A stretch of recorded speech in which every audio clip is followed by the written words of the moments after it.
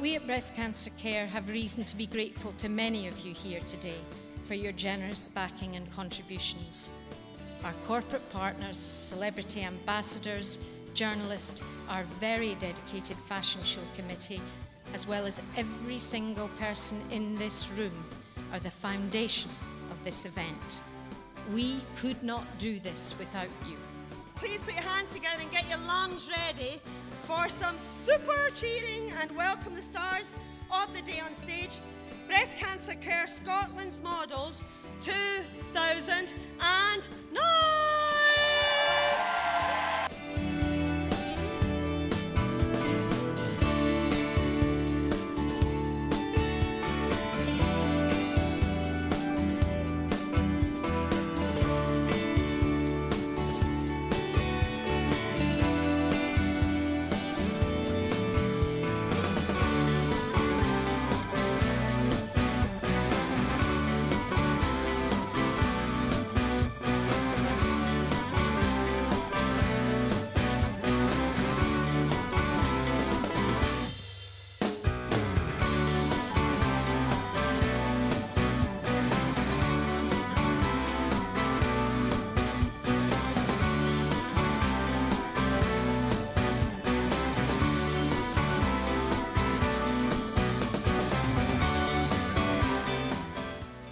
On behalf of tonight's models, may I say today's brave, inspiring, beautiful, exceptional models.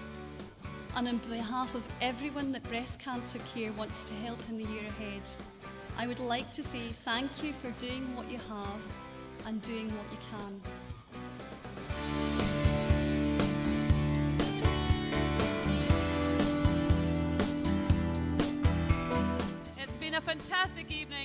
There's no better way to top it all than the fantastic Michelle McManus.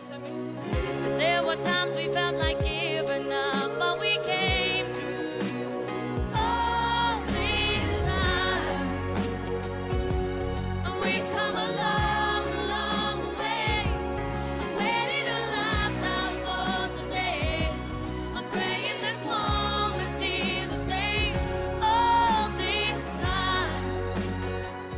Oh, it was amazing. It was amazing. It's my third time in four years, I think, and uh, every single time, uh, you know, it's just, it's phenomenal. But it's just such a wonderful thing to be involved with and a real pleasure.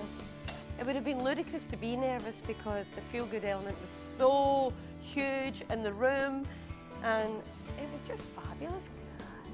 We get amazing support from our sponsors. This fashion show has been inspired by the work that we have with Swarovski, um, the support we've had over the years from Tulloch Homes, our incredible partnership with Schwarzkopf, and the local and community-based support of Mitchell Hire and Drive. All our sponsors are vital to this show and vital to the work we do throughout the year.